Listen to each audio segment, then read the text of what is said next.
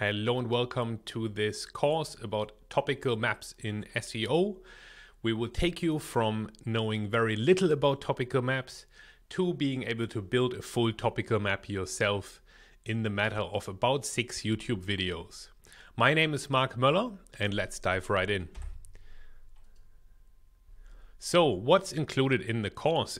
In the first full session, we're going to talk about planning the size of your topical map that will include looking at competitors, what topics have they covered, how many articles have they written, uh, the resources that you have available, meaning what funds do you have available to write the articles in your topical map, and then what goals do you have? Do you want to be the next Healthline website with thousands or uh, millions of articles, or uh, do you want to have a very niche focus and only write 30 articles? For both, a topical map can help. In the second part of the course, we will look at how we can do the research, collecting the data to build your topic map. Things like entities, Wikipedia, Google Search Console, SEMrush, and also extracting competitor sitemaps are going to be part of the second video. In the third video, we'll go over the tools uh, that you can use uh, in order to build a topical map. Um, fourth video, keyword research and keyword clustering. We will use the avalanche theory to first publish articles that are easy to rank for so that you can accumulate data in Google's eyes and yeah, basically get user metrics and gain Google's trust slowly by first getting some visitors for easy to rank articles. Uh, number five, um, what should a content brief look like? That's quite important because just having a huge map of articles that you could write doesn't really help if you don't have a clear plan of what a content brief looks like that can beat your competition. Because the goal here is not just to pump out a bunch of low quality articles, every single article in the map needs to beat your competitors. Otherwise, if you publish articles that are of lower quality, that actually hurts your website's quality score. So, again, the goal here is not quantity but quality and the content brief what goes into each article is a big part of that. And then scheduling. How quickly should you be writing articles? Uh, should you write 30 articles in a day one article per week? Uh, if you have 100 articles ready to publish should they all be published in a day or should you schedule them out? Um, three articles per week. We'll talk about all of that in the scheduling part now, this is the first video. So in this video, I wanted to uh, go over a few basic things about topical maps, such as definitions. What, what is a topical map? So a topical map gives you a list of articles that you should write and a list of topics that you should cover to be seen as an authority uh, for your website in a specific industry. It should also cover content briefs. A lot of times I see that people only do the first part, they only create the list of articles, but they don't really go into each content brief. And Koray Tuğberk has shown a really good example of the right way to do it, which actually does include the content briefs. Then, what are the benefits of a topical map? So, the main benefit that I see is that the pre planning of writing out all the articles that you want to cover gives you a competitive advantage because by default you've done more research in the possible articles that you can write. It allows you to find some articles that are very rarely covered, so you can immediately get clicks for those because they have a low competition score. And it also allows you to allocate your resources in a more efficient way, meaning rather than uh, writing about random topics, you now have a clear plan of uh, which topics you want to start writing about. Now, the downsides are that if you don't have the right budget or not good writing skills yourself, or your copywriters lack the skills, then a topic map can actually hurt you because you might be publishing a lot of articles just because they're on that topical map. It says that you should publish them, but they're low quality. And what that means is that drags the overall quality scores of your website down and now perhaps other pages are also not ranking well anymore. So if you had some service pages or some product pages, and these are fine, they're, they're good pages, but now due to your topical map, you've published supporting articles, um, and those supporting articles are of low quality, then that can be a real issue. And I've seen that a lot that people have thought, right, I will just publish good quality articles only for my money pages, my important service uh, or category pages or product pages.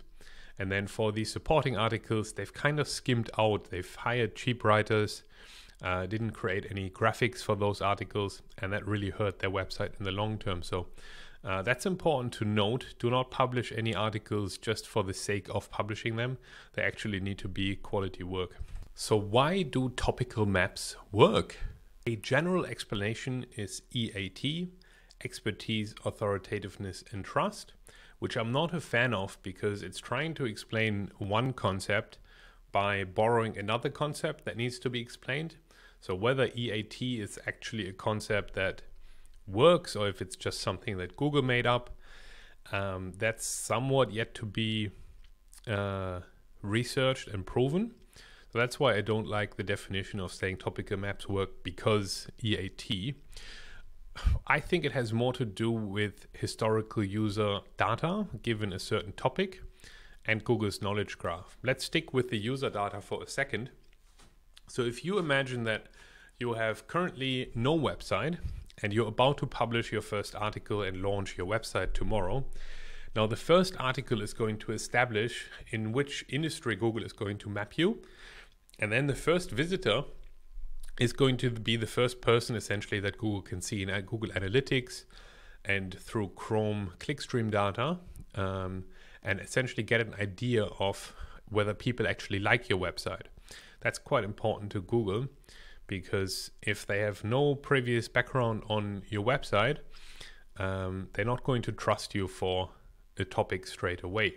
And that first article allows you to gain that user data in Google's system. Um, things such as how, mu- how much time are people spending on your site? Are they clicking from the main article that they landed on further deeper into your website architecture? How long do people stay there?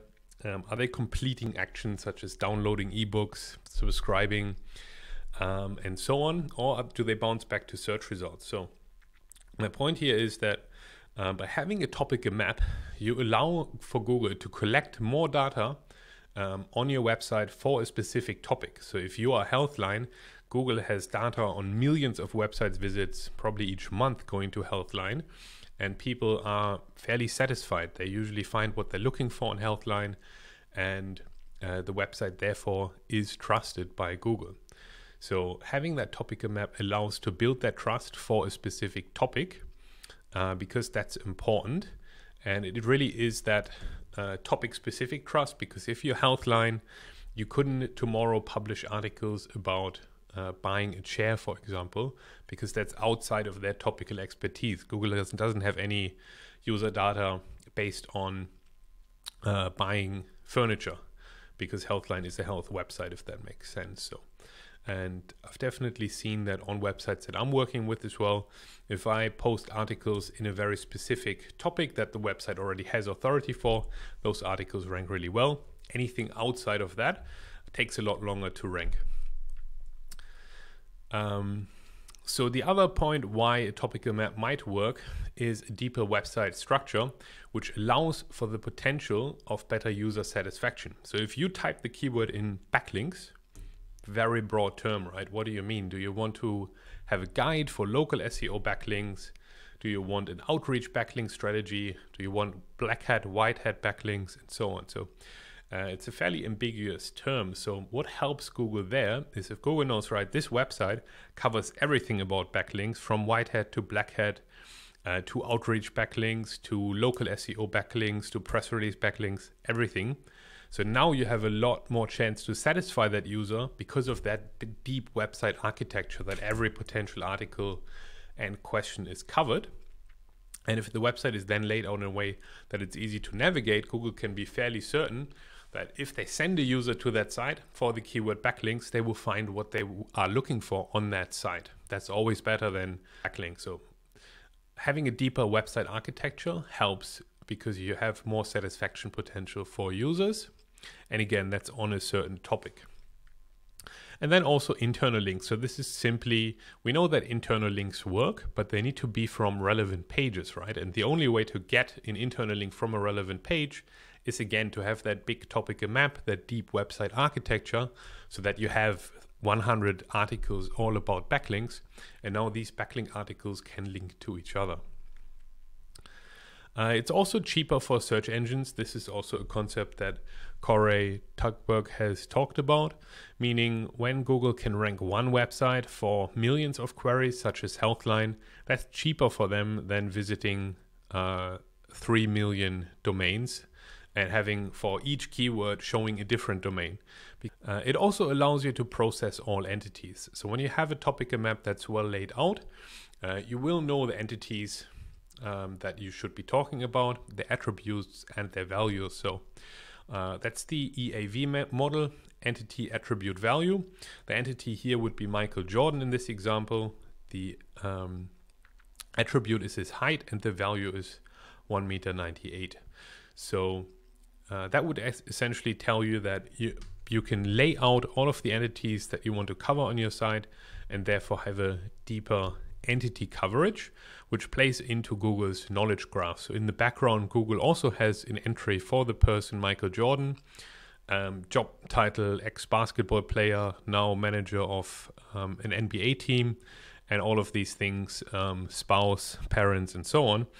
Uh, are all separate entities in Google's system, and through the topical map, it allows you to configure your website so that it matches that entity configuration that Google has in a better way as opposed to when you go without a topical map, you might be writing about one very small part that Google knows about, but you're missing that much because you haven't done the research and um, the things that you're talking about on your site are not quite fitting the um, knowledge graph that Google has. All right, so why do topical maps make no sense at all? Cool. So Google is asking us always to uh, have expert writers um, as suggested by the EAT model, meaning that we should be uh, having writers who have topical experience, ideally PhDs. If you're talking about um, medical research, it should be ideally uh, written by a doctor. Um, but that would mean that an electric scooter company who's an e commerce website just buying electric scooters from China and then selling them needs to write about battery chemistry because that's what the topical map uh, often calls for because you need to cover the topic in as much depth as possible. It doesn't mean that you have 100 articles about battery chemistry if you're an electric scooter company, but you probably need one or two articles to show Google that you have experience and knowledge on that uh, topic and to satisfy the uh, knowledge graph criteria because Google would understand that somewhere connected to an electric scooter is the topic of batteries. And then connected to the topic of batteries, there's the topic of battery chemistry.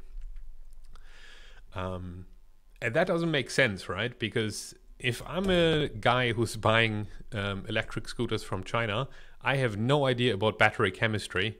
Uh, I just know perhaps about uh, shipping them to America, or Australia, um, and then building an e-commerce site and selling them. I have no idea about uh, chemistry whatsoever. Yet Google expects me to write an article on that.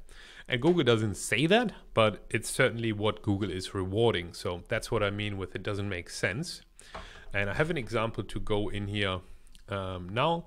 This is a topical map from a website that Koray Tuğberk has openly discussed. It's one of his case study websites. And you can see here the job, uh, the titles of the articles, and then what job title would be an expert on that. So we have titles here such as the best non-alcoholic summer drinks, a mixologist, chef, um, and then here we have the field of science, culinary arts would be something that that person might have studied. So the point here is that you can straight away see that there are quite a lot of very different job titles and fields of studies that the website owner would either need to know about himself, he would either need to be a doctor, an environmental engineer, a hydrologist, a nutritionalist, public health professional. Um, later on, we also have chemist. he would need to be all of those things to be able to write about that himself, or he would need to hire PhD experts for all of these articles. Of course, that's not possible, and nobody is doing that. And that's why we say the way that uh, Google's knowledge graph works and therefore influences topical maps doesn't really make sense. Um, all we know is that it works, and we can kind of guess that it's probably due to the fact of how Google has organized uh, their knowledge graph. Um, but yeah, here, so so to give you the background story, if you're not familiar with the Svalbard website, this is a luxury water company. They sell um, iceberg water, and they have then written articles that quite deeply go into the medical field. So we have here uh, 20 health benefits of drinking water, uh, water retention, what percentage of the body is water, and uh, these would be topics that doctors, potentially biologists, uh, talk about. And yet, here is this water company um, who is publishing these articles and ranking quite well for a lot of them. So I find that interesting that uh, this strategy actually works in a lot of cases. I've highlighted here in green the articles that Svalbard is doing exceptionally well for. So these are where they have um, featured, featured snippets um, or are ranking in very high spots. Things like uh, fluid retention, um, how long can you survive without water? These are not questions that I would typically trust a uh, water bottling company um, with, right? Because that's essentially what this website is, or this company. They take water from icebergs, put it into a bottle, and then ship it to you. So why do they know about how long you can survive without water? Doesn't quite make sense. Um, to us humans, but to a search engine, it does make sense again due to the knowledge graph uh, configuration. All right, I hope you enjoyed this first um, dive into topical maps. This video was just supposed to give you an overview of topical maps and uh, perhaps why they work and why they can be a little bit quirky. I hope this was helpful. Leave a comment below what you thought about this topical map video and your biggest questions about topical maps. Thank you and I'll see you in the next video.